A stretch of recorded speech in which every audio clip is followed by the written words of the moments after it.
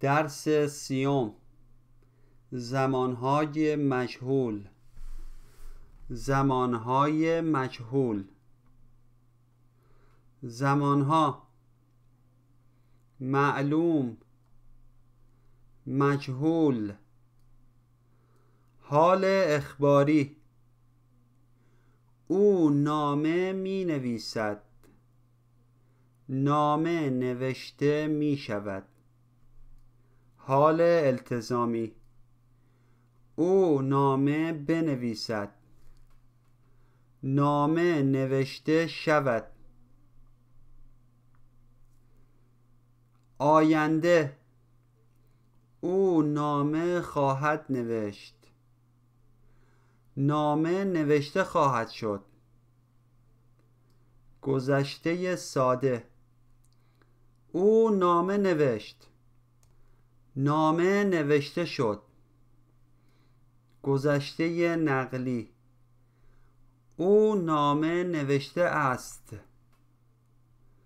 نامه نوشته شده است. گذشته بعید. او نامه نوشته بود. نامه نوشته شده بود. گذشته استمراری. او نامه می نوشت نامه نوشته می شد گذشته التزامی. نامه نوشته باشد. نامه نوشته شده باشد. منفی مجهول. مجهول منفی مجهول. نامه نوشته می شود نامه نوشته نمی شود نامه نوشته شود. نامه نوشته نشود. نامه نوشته خواهد شد. نامه نوشته نخواهد شد. نامه نوشته شد.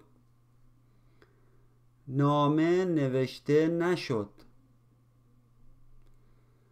نامه نوشته شده است.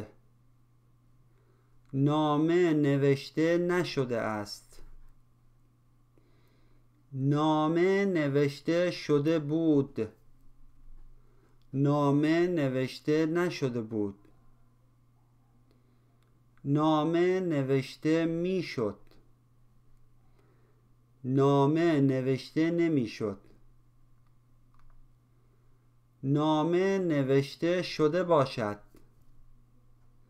نامه نوشته نشده باشد.